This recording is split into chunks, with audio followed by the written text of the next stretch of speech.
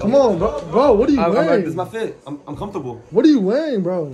Uh, to the dinner, I want to be comfortable while I We're eat. going to a steakhouse. Yeah, I'm gonna eat steak comfortably. There's no way that's how you present yourself in front of girls, bro. We're about to go out, I'm bro. sorry. I'm sorry. I got a personality. What are you wearing, bro? Still care about my fit. Bro, look at him. On my dick.